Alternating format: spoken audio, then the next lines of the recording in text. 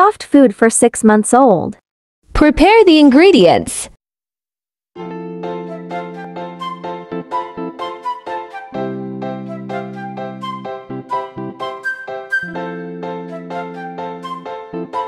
Steam until tender, about 15 to 20 minutes.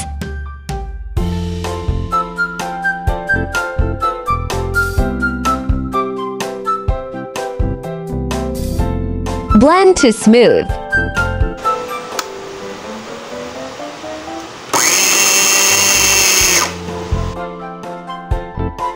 Optional, add some milk or water.